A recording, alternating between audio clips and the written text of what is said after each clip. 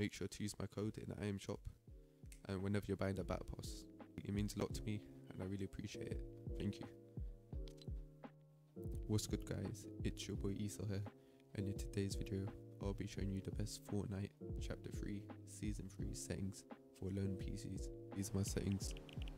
So for the colorblind mode, I set to Tritanope. Uh, number 5. This is how it looks like. Looks really good. Not too bright, not too low. So just hits the sweet spot. As you can see, I'm using 1280 by 960, which is a stretch resolution. For my 3D re resolution, I'm using 65%, which uh, is pretty pretty good if you're on a lone PC. And meshes is set to low, and I'm on performance mode. By the way, guys, uh, whenever I'm not recording, a bit more higher. So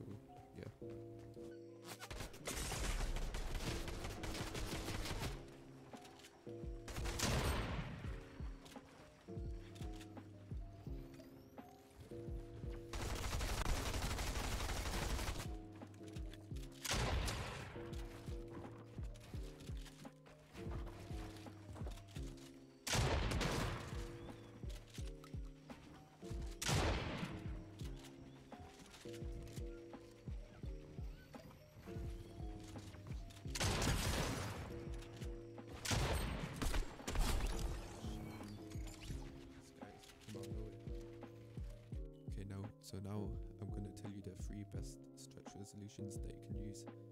So the first one is 1280 by 960. I do use this resolution and I can say that it's really, really good and I would definitely recommend using it. Alright, so the next resolution is 1024 by 768. This resolution is really good, especially if you're on a low end PC. It will give you a huge FPS boost so I would definitely recommend using this. So the last resolution that we're going to talk about is 940 by 612. So I would definitely recommend using this resolution if you're on a really low end PC. So now we're going to use this FPS uh, boost pack for low end PCs. Shout out to Stripes for making this pack. So we're just going to do all of these, create a restore point. That's the best thing to do, especially when you're doing these optimizations in case your PC might mess up. So make sure to always make a restore point. So just press create. So I don't know, Fortnite, Fortnite, Fortnite. So create, and just wait.